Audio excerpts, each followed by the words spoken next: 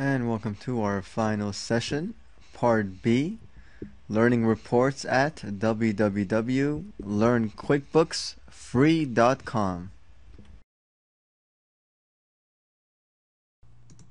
So, under Vendor and Payables, you can pull up reports uh, showing uh, information on what the company owes. So, if we do an AP aging summary, it's going to basically show you that you now owe $350 to vendor 1, $35 to vendor 2. You're current, which means that you're not past due. So this is a report that kind of shows you, you know what? I'm 30 to 160 days past due on this vendor and it kind of just gives you an idea of, you know, the money that you owe and once again, every report you can kind of double click on everything and, you know, look at more details. So that's one part of that report. Uh, then you can go detailed if you want. Just gives you a little bit more details. And um, then there's other reports, but this is really the main two uh, that you're going to use. Uh, you can do graphs, but um, you know that, that may not be so much help for you. I mean, maybe, maybe not. It's it's it really depends on how detailed you want to get. I don't I don't really use this graph myself. I just uh, personally use uh, these first two and really most more than anything I just use AP aging summary. And um, I keep it simple like that. Another report that you can pull up is under sales. So let's do sales by customer summary. And so if you want to know uh, just how much income you've brought in for a certain day a week a month. So if you do like weekly sales report uh, you could do something where it starts on a Monday ends on a uh, Sunday right here and then you do refresh.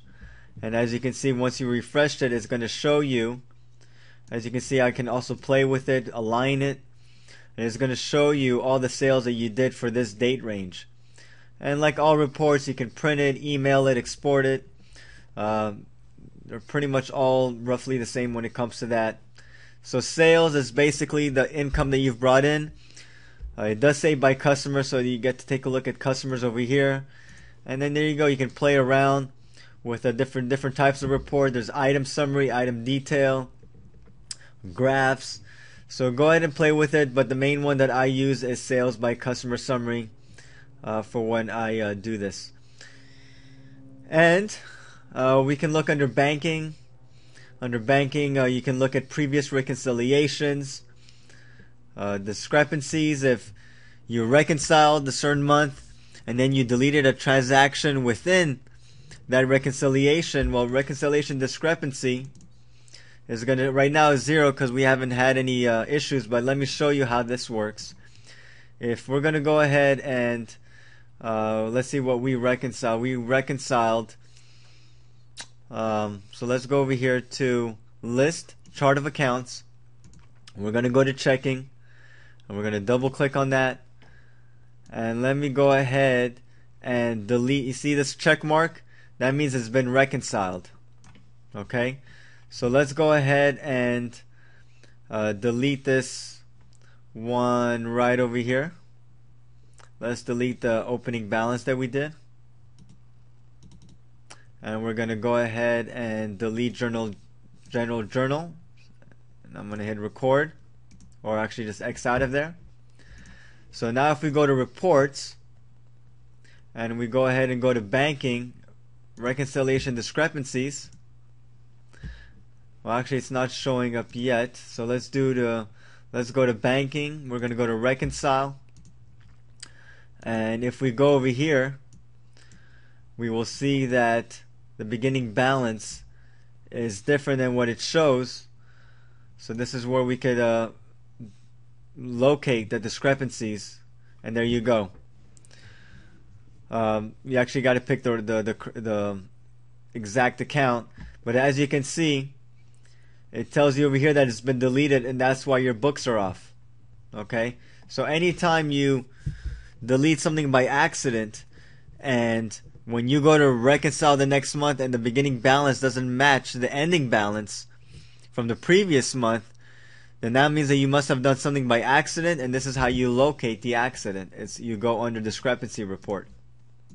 Okay.